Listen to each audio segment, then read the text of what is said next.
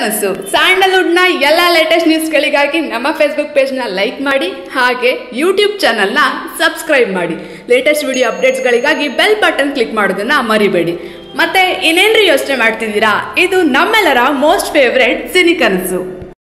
Hey in in this video, I'm going to show you some solid evidence of ancient machining technology at Hoysaleswara temple. There is something very strange about these pillars. If you look closely, you can see these minute circular marks all around the pillar. These are created as a result of machining the pillar on a lathe. Uh, this process is called turning. There is no way to achieve this with chisels and hammers manually. If you look at these pillars, it is crystal clear that they were made with machines. In fact, archaeologists agree that these pillars were created in a lathe, but offer no convincing explanation as to how these huge pillars were machined 900 years ago.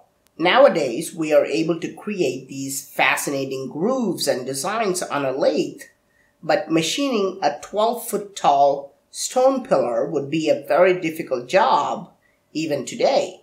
So, how were these pillars created with amazing perfection in ancient times? Did ancient builders use machines and advanced tools just like what we use today? If this is true, is it possible that they also carved these machines or tools in this temple? Here you can see a very strange device in the hands of a god called Masana Bhairava. This clearly represents a type of gear mechanism called planetary gears. The outer gear has 32 teeth and the inner gear has exactly half the number or 16 teeth which is precisely how we use reduction gears today. If this were just an imaginary tool, how could the ancient sculptors come up with this gear ratio of 2 to 1? Even more interesting, we can also see a fastener that goes around this mechanism and is locked in the center. Today, we use the exact same technology. We use something called a circlip lock or a snap ring to keep these things in place. If historians are right, how could primitive people working with chisels and hammers imagine such a mechanism? Is it possible that advanced machining technology was used 900 years ago? Is this why we see such perfect pillars? What's more interesting is that this god is called Masana Bhairava, which means God of measurement. Is it a coincidence that the God of measurement is holding an advanced tool? But the best evidence of machining is not on the outside of the temple. Let's go into the deep dark areas of the temple and see if we can find more evidence. Here is a seven foot tall god with the most uncanny ornaments. His crown is adorned with skulls which are less than one inch wide. I realized that I could pass a small twig through one eye and it would come out through the ear on the other side. The twig can also be passed from ear to ear and also ear to mouth and any way you want. What does that mean? It means that the entire skull is hollow inside. It is impossible to remove the inside of a small sphere, which is only one inch wide.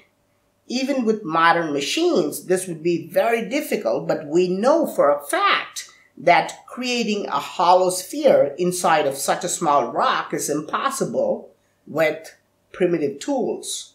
Even more interesting, we can shine a flashlight between his head and crown, and the light shines through. There is a very small gap between the head and the crown. I tried to slide the same twig, which is about 3 millimeters wide, but it would not go through. This means that the gap is less than 3 millimeters wide. How could anyone create a small gap less than 3 millimeters wide with chisels?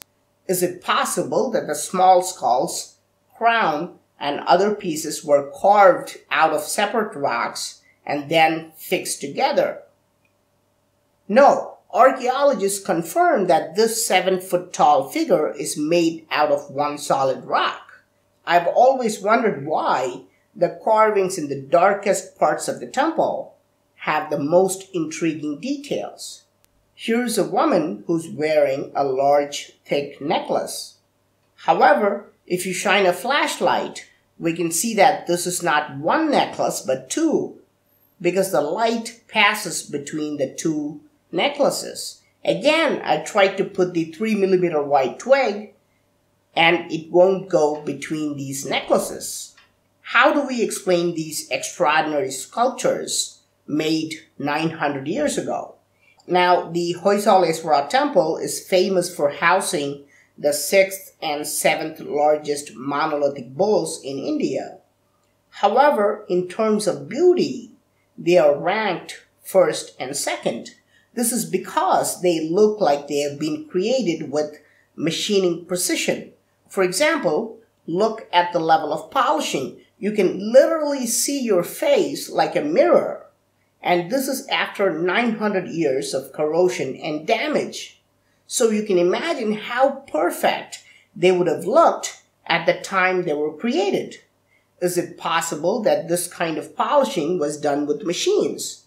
Today, we use tools like the rotary burr for this level of polishing. If you look at modern day drilling and polishing tools, they look like this. Were tools like these also used in ancient times? And more importantly, are these tools also shown in the temple's carvings? Here we can see a tool that almost looks identical to the rotary burr in the hands of a deity. Here's another one that's holding a slightly different tool. Note that the devices look the same, but are not identical. The ridges are different. The drilling and polishing tools we use today also have different ridges for different types of outcome. Around the world, we can see gods holding this mysterious tool that is thought of as pine cones. Are these really pine cones? Is it possible that the gods in this Indian temple are also holding actual pine cones and not tools? Well, there are no pine trees in India, so how could the ancient builders in India have seen pine cones 900 years ago? Since that is not possible, is it possible that these gods shown around the world are holding an advanced tool that was used for machining technology? Is this how the world's greatest megalithic structures were built? Also, many of these quote unquote pine cones shown around the world are depicted with a long base, just like any modern tool. In a previous video, I've also shown you a telescope carved in the same temple. How was this created without using machines? So, what do you think were advanced machines and tools used 900 years ago? If they were not used, how do you explain these turn marks and grooves? Holes that are less than 3 millimeters wide and incredible polishing. What about these planetary gears and strange tools? Please let me know your thoughts in the comment section. I'm Praveen Mohan. Thanks a lot for watching. Don't forget to subscribe and I'll talk to you soon. Bye.